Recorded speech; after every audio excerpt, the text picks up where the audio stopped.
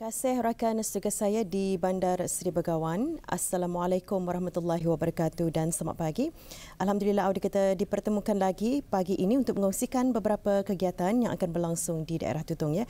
Jadi banyak uh, aktiviti yang melibatkan kanak-kanak dan juga belia di musim cuti persekolahan di daerah Tutong ini dan antaranya pada pagi ini bertempat di Perpustakaan Dewan Bahasa dan Pustaka akan diteruskan lagi ya aktiviti iaitu mewarna lukisan bagi kanak-kanak dan kraftangan bagi ahli muda-mudi.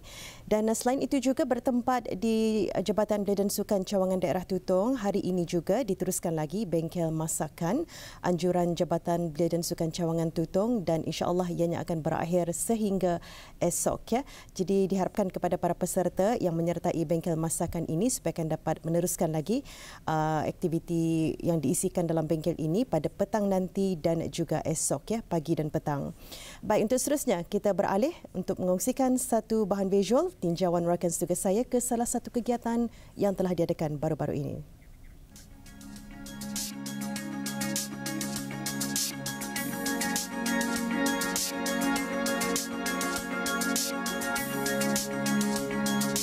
Untuk meningkatkan kesedaran masyarakat mengenai kepentingan sukarelawan dalam kehidupan, kempen Hari Bertindak ataupun yang dikenali sebagai Day of Action merupakan satu platform bagi mengumpulkan para sukarelawan dalam melaksanakan kerja-kerja yang meliputi program-program ataupun aktiviti-aktiviti. Justeru, baru-baru ini Persatuan Pengakap Daerah Tutong dengan kerjasama Jabatan Belia dan Sukan Cawangan Daerah Tutong telah pun mengadakan aktiviti bersempena dengan Hari Bertindak bagi tahun 2020 bertempat di Pusat Belia, Cawangan Daerah Tutong. Aktiviti berkenaan merupakan program pertama ataupun pembuka projek Hari Bertindak Day of Action bagi daerah Tutong yang berkonsepkan Saya Sayang Saya dan Hargai Alam Sekitar. Tujuan utama program sebegini adalah untuk memberi kesedaran khususnya kepada golongan belia mengenai kepentingan diri sendiri dalam kehidupan seharian. Program ini turut memberi kesedaran kepada mereka mengenai kepentingan alam sekitar dalam kehidupan individu masing-masing, masyarakat serta alam semesta. Ceramah yang bertemakan Saya Sayang Saya dan Hargai Alam Sekitar turut disampaikan kepada peserta-peserta yang mengikuti program berkenaan. Oleh itu, para peserta akan lebih memahami tanggungjawab mereka sebagai seorang belia yang berperanan untuk sama-sama menjaga kebersihan alam sekitar.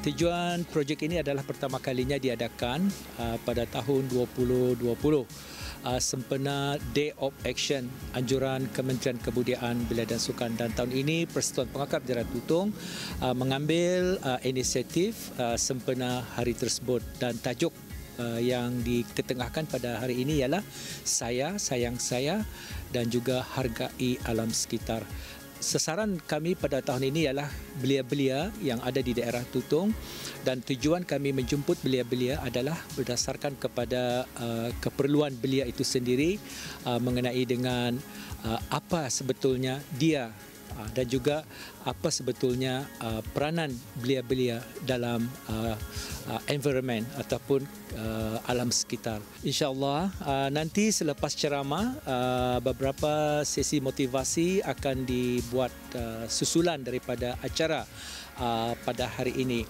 Dan uh, semua uh, susulan tersebut adalah uh, bermotivasikan kepada uh, kepimpinan belia uh, dan juga kedewasaan kepada belia itu sendiri. Jadi uh, peranan belia itu nanti apabila mereka lebih dewasa mereka akan menjadi pemimpin-pemimpin yang uh, berkelibar di suatu hari nanti. Dan bukan lagi uh, sekarang mereka akan menggantikan kepada pemimpin-pemimpin yang ada sekarang. Kerana apa ni uh, pesanan daripada uh, kebaduli yang maha mulia supaya belia-belia itu akan lebih uh, berdedikasi bermotivasi dan berfikiran jauh.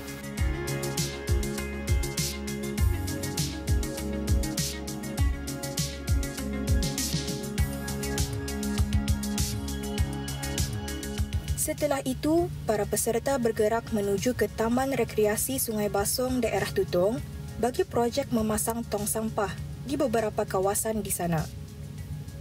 Saya turut berkesempatan untuk menemu bual beberapa orang peserta yang mengikuti aktiviti tersebut.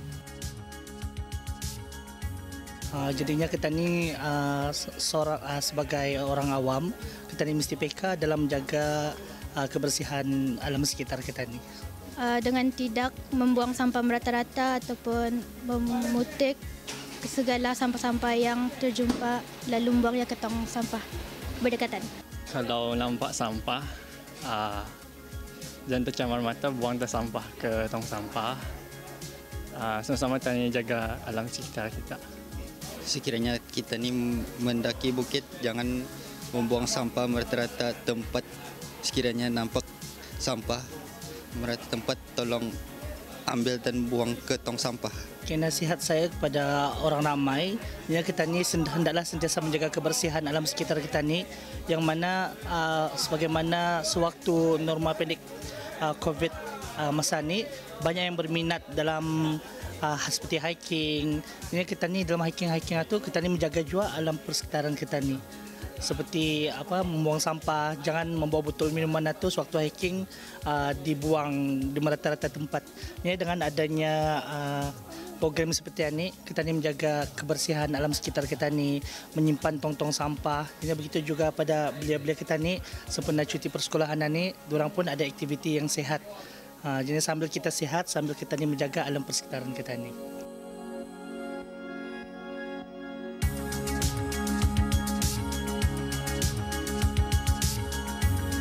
Diharap dengan adanya aktiviti sebegini, ia dapat membuka minda serta mata para belia akan manfaat yang dapat diperolehi melalui kerja-kerja sukarelawan. Ia juga secara tidak langsung dapat meningkatkan tahap kesedaran orang ramai tentang pentingnya penglibatan diri dalam apa jua khidmat masyarakat dengan tujuan untuk menyumbang kebaikan kepada agama, bangsa dan negara.